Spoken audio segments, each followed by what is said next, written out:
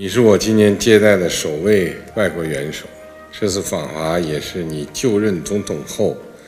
对外国进行的首次国事访问，这充分体现了中马两国对发展双边关系的高度重视。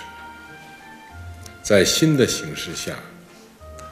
中马关系面临承前启后、继往开来的历史契机。我愿同总统先生一道，为两国关系发展做出新规划，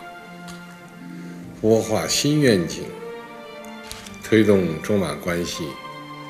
迈上新的台阶。